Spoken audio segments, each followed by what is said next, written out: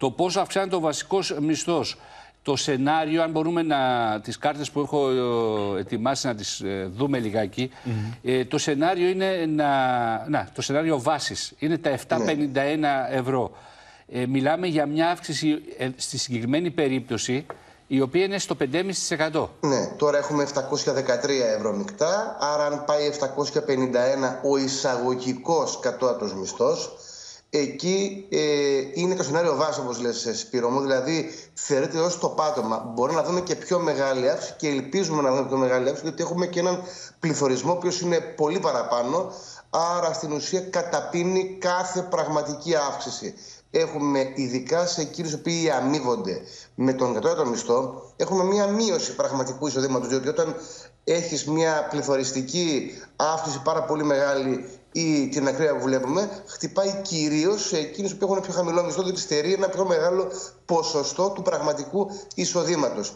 Οι έρευνες δείχνουν ότι στην ουσία άνθρωποι που έχουν έως 1000 ευρώ μισθό το μήνα έχουν απολέσει λόγω του πληθωρισμού περίπου το 20 με 30% του πραγματικού εισοδήματος ε, σε πραγματική αξία του χρήματος. Άρα μακάρι να δούμε και πιο μεγάλη αύξηση δεν αφορά μόνο τον εισαγωγικό, αλλά αφορά και τις λεγόμενες πολιετίε. Δηλαδή Κώστα, και σήμερα. Συγγνώμη που σε είναι... διακόπτω. Γιατί σα ρωτάω παράλληλα και τους δύο σα, γιατί τα ξέρετε. Ε, το 751 ξεφεύγει από τα κριτήρια κάποιων επιδομάτων ή όχι; Δηλαδή που λένε ε, για να πάρεις ένα επίδομα, το χ επίδομα, πρέπει το εισόδημά σου να είναι μέχρι τόσο. Όχι. Με την μέχρι αύξηση. Στιγμής, όχι, έτσι. Μέχρι στιγμής Ναι.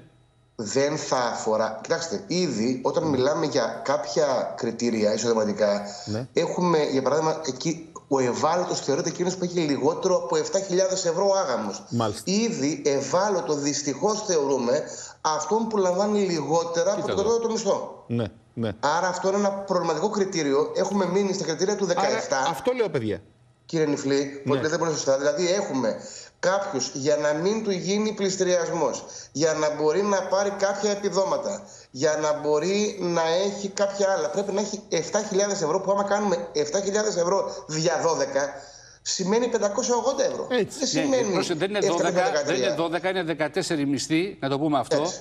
14. Έτσι. Εδώ με το 751 στο μεικτό εμφανίζονται περίπου 10.000 και κάτι ο ετήσιος τζίρος. χάνονται, αυτό λέω. Βεβαίως χάνονται, σαφώς και χάνονται. Μα γιατί στην Ήδη όμως, Ελλάδα. έχουν χαθεί, δηλαδή ήδη πρέπει να δούμε αύξηση κριτηρίων για τα επιδόματα. Α, μπράβο. διότι μένουν και λόγω των αντικειμενικών αξιών που ανέβηκαν και λόγω του ότι έχουμε μείνει στα παλιά κριτήρια του 17, που ήταν άλλη η οικονομική κατάσταση, άλλος ο πληθωρισμός, άλλη η μισθή.